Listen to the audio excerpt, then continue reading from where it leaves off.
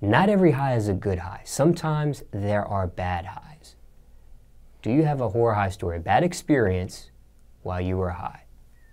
I know the first time you smoked, we had talked about previously that you had this cotton mouth and you ended up having to use the, the water hose from a neighbor's yard and that sort of Yeah. thing. Was I that got, a lot, I got a lot of stories, bro.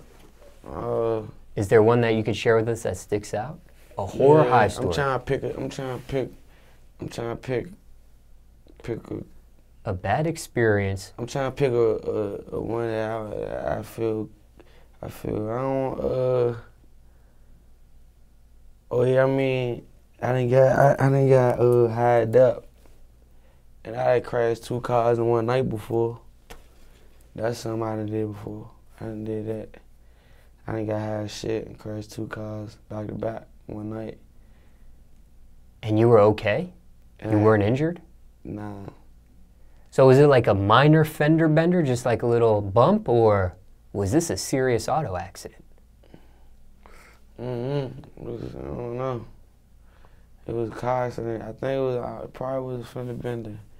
I don't know. It was two car accidents though. That's that's what that's that's an old story. that I remember. I was high shit and I did. So you were driving while you were under the influence, or somebody was driving you? I was driving.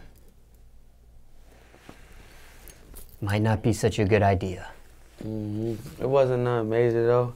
I just fucked both of my cars up. Oh, your own personal cars? Yeah. Like in the driveway type of situation? Nah, fuck no. Like in the in the, in the street. Because I've done an interview and somebody. Uh, I had I, I crashed my Challenger, and I had crashed my motherfucking uh, my motherfucking other joint, my photo joint. two separate occasions in one night. Yeah, You think you would have learned after the first crash? I'm telling you.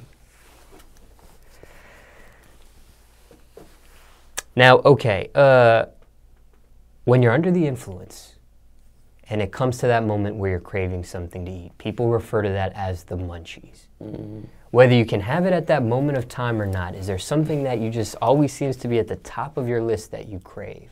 cereal. I always be eating cereal. Frosted Flakes, Lucky Charms, Cap'n Crunch. Have you ever mixed all three together? Fuck no, that shit nasty.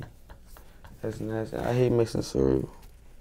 Now, have you done it where you've gotten the big, huge, giant bowl and just dumped the whole? Nah, I don't do it like that. Okay, you haven't Yeah, haven't gotten that high. on some Friday shit. Yeah. nah, I don't do no shit like that. Are you the type ever to put like uh, ice cubes in your Nah, cereal? Nah, fuck no. Don't do that either. Yeah, I just get I just get my cereal. I eat that shit.